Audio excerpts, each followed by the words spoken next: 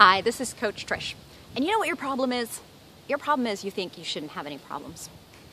I heard that from Anthony Robbins the other day, and I like that one because it's true. Every time I get a problem, I get mad. Like, why do I have this problem? And then I thought about it. What am I expecting? Not to have any problems?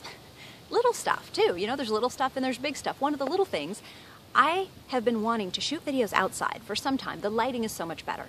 But my daytimes are very hectic. At night is when it's best for me because the house is quiet, the kids are in bed, but my house is very dark.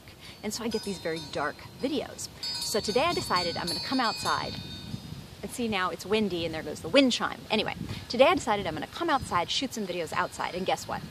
It's trash day. So I'm trying to shoot my videos and the trash truck is backing up, beep, beep, beep. And then the recycling containers, I hear glass shattering as they dump the recycling containers in. So I turn the video off, I wait for the trash to finish, and I come back out. And then guess what? I realized that my house is apparently in the flight path of some airport. I think I think it's Gillespie Fields is over there. And so there's airplanes going back and forth, helicopters. Go figure. I live like in a quiet house in the outskirts of town. You would think it would be very quiet out here. Not at all. Wind chimes, helicopters, trash trucks. Surprised I got through this video. So anyway, when the little things come up in life, just deal with them with a little sense of humor and move on.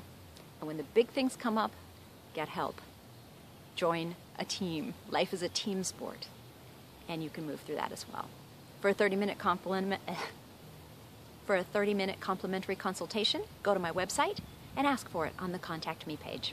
And always remember, you are powerful.